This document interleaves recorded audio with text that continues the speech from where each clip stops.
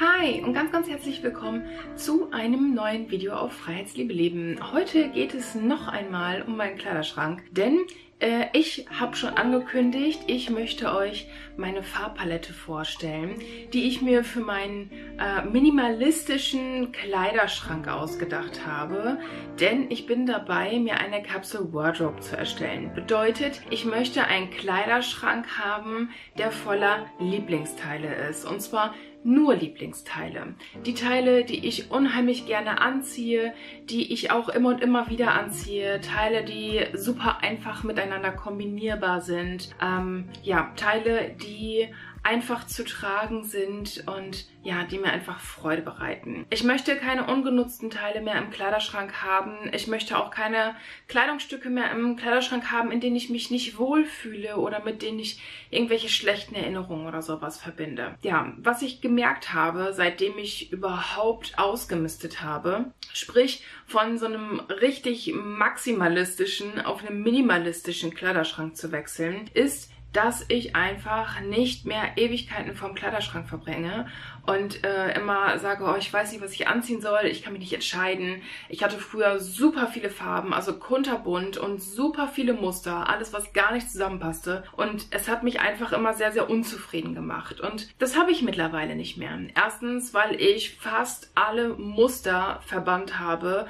und zweitens, weil ich sehr viel weniger Farben in meinem Kleiderschrank habe. Trotzdem hatte ich so in den letzten zwei Jahren noch so das eine oder andere Mal, dass ich gemerkt habe, hm, das passt da nicht zu, das passt da nicht zu und manche Teile habe ich halt einfach irgendwie kaum angezogen und ähm, ja, da habe ich so ein bisschen mehr hingehorcht und bin jetzt so zu dem Schluss gekommen, dass es daran liegt, dass meine Farbpalette noch nicht perfekt ist. Schon im letzten halben Jahr oder Jahr habe ich darauf geachtet, was ich für Farben kaufe und habe von manchen Farben bewusst ähm, mehr gekauft und von manchen Farben halt bewusst weniger oder gar nichts mehr. Wenn ihr meine Ausmistvideos seht, dann habt ihr vielleicht auch schon bemerkt, dass ich manche Farben versuche aus meinem Kleiderschrank komplett zu verbannen. Das hat den einfachen Grund, dass ich mir eine Farbpalette erschaffen möchte, bei der ich nämlich super einfach bestimmte Sachen miteinander kombinieren kann. Beispiel, ich hatte früher zum Beispiel eine lilane Jeans, ich hatte eine grüne Jeans, ich hatte eine braune Jeans.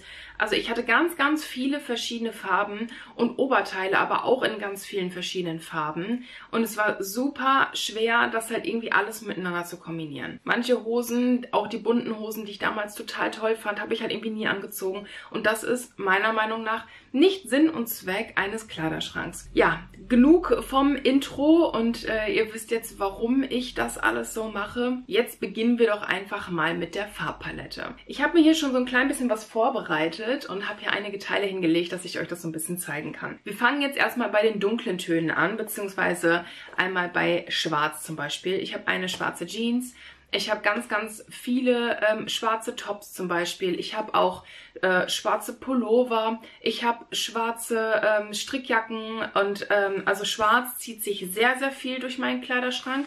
Das ist eine Farbe, die ist einfach immer wieder super kombinierbar und ich kann zu dieser schwarzen Hose zum Beispiel wirklich irgendwie alles anziehen. Also selbst wenn ich jetzt irgendwie bunte Oberteile hätte, kann ich zu ihr alles tragen und deswegen finde ich diese Hose einfach unheimlich wichtig. Auch Leggings habe ich alle in schwarz. Ich habe eine Thermo-Leggings, die ist nicht schwarz. Zu der Farbe kommen wir gleich. Da muss ich aber auch sagen, die ist ein bisschen schwieriger zu kombinieren. Da habe ich auch schon mal überlegt, ob ich die auswechsel, dass ich äh, zwei schwarze Thermoleggings habe und nicht eine schwarze und eine andere. Schwarz ist also ein absolutes basic und super wichtig für meinen Kleiderschrank. Die nächst dunklere Farbe ist dann so ein dunkles Grau, vielleicht auch manchmal in Richtung Anthrazit, also ist es nicht ganz schwarz und wirkt dadurch manchmal so ein bisschen auflockernder, finde ich. Ähm, also Grau kann zwar sehr nichtssagend wirken, finde ich, aber es kommt halt immer darauf an, welche Teile man hat und vor allen Dingen, was man dazu kombiniert, ist mir aufgefallen. Ich war früher nicht so der Stylo-Profi, auch wenn ich irgendwie so einen kunterbunten Kleiderschrank hatte und ähm, eigentlich super gerne shoppen gegangen bin, mega viele Muster hatte. Ich hatte aber trotzdem keine Ahnung davon, wie man die Sachen vernünftig kombiniert, dass sie gut aussehen.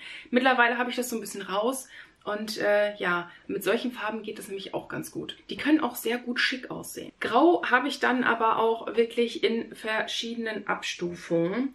Also von hellgrau bis mittelgrau und dunkelgrau bis Anthrazit. Also das zieht sich dann alles so durch meinen Kleiderschrank. Und ähm, ja, die Sachen sind einfach alle immer sehr, sehr schön zu kombinieren. Grau finde ich ist halt auch ein totales Basic, kann aber halt eben richtig hervorstechen, sodass man die Sachen auch so ein bisschen in den Fokus rücken kann und das ganze Outfit nicht so untergeht wie bei einem Outfit, was jetzt so komplett durch nur schwarz ist. Und es ist trotzdem irgendwie noch so ein bisschen zurückhaltend. Mag ich ganz gerne. Dann gehen wir mal weiter zu weiß. Ich habe jetzt hier so ein richtig strahlend weißes T-Shirt zum Beispiel an. Weiß findet sich super viel in meinem Kleiderschrank wieder. Also so oft wie keine andere Farbe mittlerweile, glaube ich. Also ich glaube, sie hat sogar Schwarz schon überholt. Wobei Schwarz früher eigentlich so die Farbe war, die am meisten in meinem Kleiderschrank vertreten war. Ist jetzt mittlerweile Weiß ähm, wirklich in den Vordergrund gerückt, denn irgendwie seit ich glaube, zwei Jahren, drei Jahren, ich glaube seit zwei Jahren oder so, ähm, habe ich halt irgendwie Weiß für mich entdeckt. Früher hatte ich fast gar keine weißen Teile, ähm, was wirklich ein bisschen zu schulden war, dass ich halt irgendwie keine Lust hatte, die Wäsche zu trennen.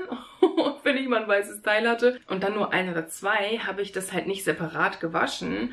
Und äh, dann sind die schnell verfärbt. Und dann, deswegen habe ich mir irgendwann halt keine weißen Teile mehr gekauft. Dann hatte ich aber irgendwann richtig, richtig Lust auf weiß. Und dann habe ich mir einige gekauft, so dass ich ähm, ja halt auch irgendwie sagen konnte, okay, jetzt irgendwie so für sechs Teile oder so schmeiße ich vielleicht schon eine, eine Waschmaschine an. Und es gefällt mir so gut, dass ich mir noch mehr hole, so dass ich irgendwann halt auch die Weißwäsche ähm, komplett einen Waschmaschinengang füllen kann, was ich mittlerweile definitiv kann. und ähm, ja, so bin ich dazu gekommen, jetzt wirklich irgendwie mehr Weiß zuzulegen. Und ich muss sagen, es hat sich gelohnt. Ich fühle mich in Weiß einfach immer sehr viel strahlender, freudiger, offener. Ich weiß nicht. Also irgendwie untermalt es so meine, meine, meine, meine Offenheit und ähm, mein, mein, mein Glücklichsein, das strahlt mehr, wenn ich weiß anhabe, habe ich halt einfach irgendwie so ein Gefühl. Außerdem, wenn ich zum Beispiel im Sommer gebräunt bin, ähm, mag ich das, also diesen Kontrast halt auch richtig gerne, so von weiß und gebräunte Haut. Das mag ich zum Beispiel auch richtig gerne. Ich merke mittlerweile sogar wirklich, wenn ich komplett schwarz angezogen bin, dass ich mich einfach nicht so fühle, als hätte ich eine so freudige Ausstrahlung. Ich weiß nicht, habt ihr sowas auch? Also ich merke halt wirklich, dass es nicht immer nur das eine Teil ist, in dem man sich super wohl fühlt und man deswegen halt einfach irgendwie besser strahlt, sondern manchmal ist es halt irgendwie auch die Farbe, glaube ich. Ja, als nächstes kommen wir dann zu Cremeweiß. Also ich habe auch einige Teile in Cremeweiß. Ähm, die kann man auch immer richtig schön kombinieren. Habe ich zum Beispiel jetzt einmal so ein ein Jäckchen im Boho-Stil, was ich unheimlich gerne mag. Das habe ich auf äh, eBay Kleinanzeigen ergattert. Und ähm, ja, das ist auch einfach eine Farbe, die ich früher irgendwie nicht so mochte. Ich wusste nicht wirklich, hm, warum cremeweiß. Mittlerweile muss ich sagen, ähm, habe ich Gefallen an diesen verschiedenen Weißtönen gefunden. Und ich mag es ganz gerne, manchmal cremeweiß anzuhaben und nicht so strahlendes Weiß. Das ist genauso wie mit dem Schwarz und dem Grau. Irgendwie hat man Lust auf was Dunkles, aber dann vielleicht doch nicht auf so extrem dunkel und dann wählt man vielleicht irgendwie einen dunkleren Grauton. Und genauso ist das hier halt irgendwie auch. Dann gehen wir in der Farbabstufung mal weiter. Das hier äh, das geht schon ein bisschen in Richtung beige. Das ist nicht mehr wirklich cremeweiß, sondern so ein ganz, ganz helles beige. Ähm, kann man auch unheimlich gut kombinieren und mag ich unheimlich gerne mittlerweile in meinem Kleiderschrank.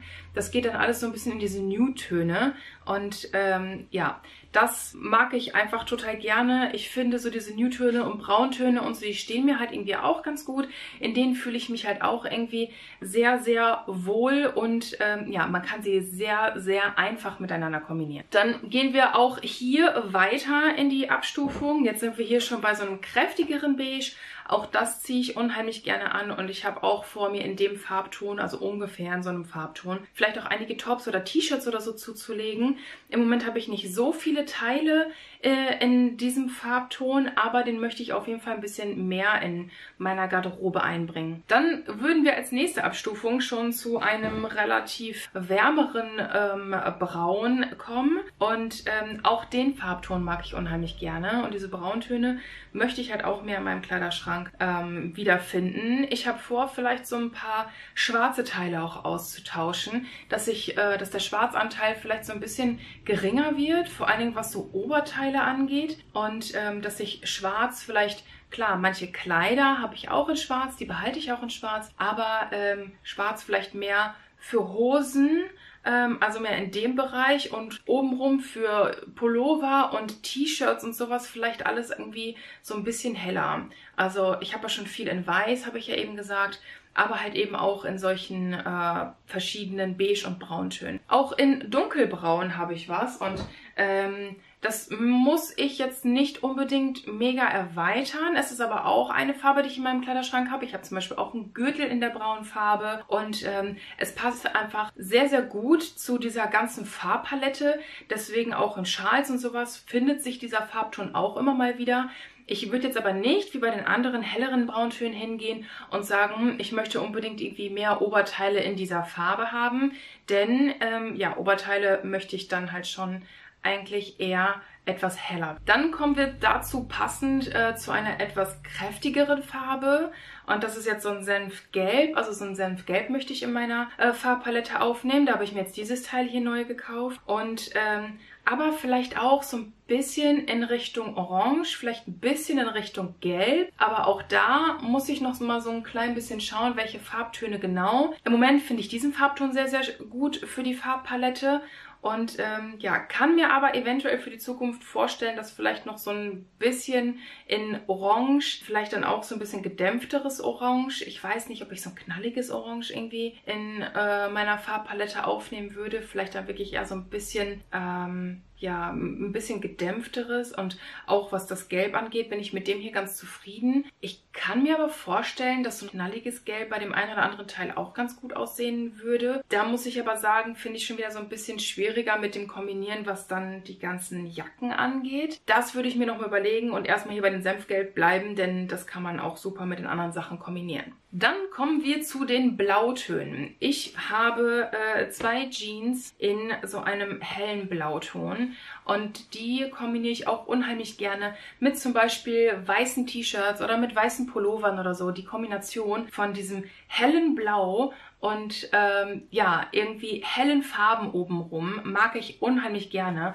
Auch irgendwie mit Beige oder solchen Sachen. Deswegen, das äh, lässt sich unheimlich gut kombinieren. Auch mit Grau übrigens mag ich diese Farbkombination unheimlich gerne. Deswegen, ähm, ja, hellblau als Jeans ist mir auch unheimlich wichtig. Ihr wisst vielleicht, wenn ihr das Ausmistvideo gesehen habt, dass ich allerdings meine dunkelblauen T-Shirts ausgemistet habe. Also dieses richtige dunkelblau steht mir eigentlich gut, aber ich mag es einfach nicht. Ich mag es nicht in der Farbpalette. Ich mag es halt einfach irgendwie ähm, kombiniert nicht so gerne. Also ich sehe, dass es theoretisch gut aussieht, aber von meinem Geschmack her ähm, mag ich die Farbe einfach nicht so gerne. Deswegen habe ich so das einzige Oberteil, was ich so sonst noch trage, ähm, ja, ist halt auch eine ähm, ein, ein Jeanshemd, das trage ich aber wirklich eher so drüber offen mit einem weißen T-Shirt drunter zum Beispiel, halt wie so eine Strickjacke oder sowas. Oder ich knote es vorne sogar einfach zu und ähm, das mag ich ganz gerne. Und ähm, ja, das ist, glaube ich, auch so das einzige richtige Oberteil, was halt irgendwie in Blau bleibt. Aber das ist halt auch so ein etwas helleres Blau und kein dunkles Blau. Ähm, ich habe da jetzt aber auch nicht vor, mir irgendwie noch viele andere Jeanshemden oder sowas zu kaufen. Da reicht mir eigentlich eins, denn ich muss sagen, diesen hellen Blauton oder generell so ein Blauton ähm, mag ich ganz gerne in Kombination mit den Haaren. Nicht gleichzeitig zusammen mit der hellblauen Hose, da muss ich schon die schwarze Hose anhaben, vielleicht ein schwarzes äh, Oberteil zum Beispiel und dann die drüber, das mag ich halt auch richtig gerne. Ähm, oder mit einem weißen T-Shirt und das drüber, aber dann nicht in Kombination mit der blauen Hose. Da muss ich schon halt irgendwie eine andere Hose anhaben, sonst ich mag das nicht, wenn jetzt irgendwie unten Jeansfarbe ist, also so eine blaue Jeansfarbe und oben auch. Genauso sieht es mit meiner Jeansjacke aus, die ist nochmal so ein Tick dunkler. Das ist jetzt kein richtiges dunkelblau, es ist halt eher so ein, ja, normales Jeansblau und ähm, ja, die würde ich als Hose, diese Farbe, auch nicht unbedingt wählen, ähm, muss ich sagen. Also im Moment auf jeden Fall nicht. Aber auch die Jeansjacke, ich mag wieder die Kombination halt einfach mit meiner Haarfarbe. Ähm, und deswegen mag ich die auch unheimlich gerne. Trage ich, wie gesagt, halt auch irgendwie so der schwarzen Jeans. Und aber auch da ist das halt einfach irgendwie so ein Teil in meiner Farbpalette, was ich ab und zu mal anziehe. Ähm, da habe ich auch nicht vor, jetzt in dieser Farbe mir irgendwie viele Teile zuzulegen. Da bin ich froh, dass ich die Jeansjacke habe, dass ich manchmal einfach diesen diesen Style ausleben kann und einfach irgendwie so diese, diese, diese Farbkombination tragen kann. Das mag ich halt irgendwie ganz gerne. Aber das reicht dann auch. Ja, und dann habe ich eine Farbe, die ich auch eigentlich aus meinem Kleiderschrank verbannt habe oder verbannen wollte. Und zwar ist es dieses Grün. Das steht mir eigentlich auch unheimlich gerne. Ich habe jetzt allerdings noch ein Teil und ähm, ja, weil das diese Palmblätter drauf hat, mag ich das nicht wirklich aussortieren. Ich habe das auch nochmal in Weiß. In Weiß ziehe ich das eigentlich lieber an, aber ich weiß nicht, im Moment hänge ich da noch so ein bisschen dran und ähm, mag halt einfach unheimlich gerne so diesen, diesen Palm-Style. Und ähm, ja, weil die halt eben eigentlich auch grün sind,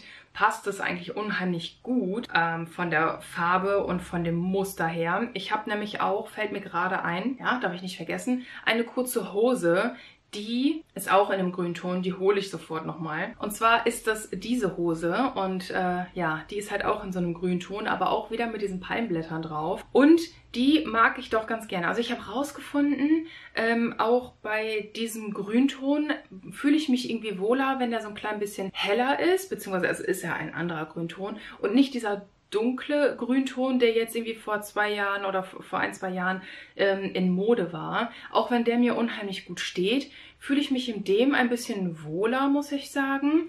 Und auch als Hose als als Oberteil.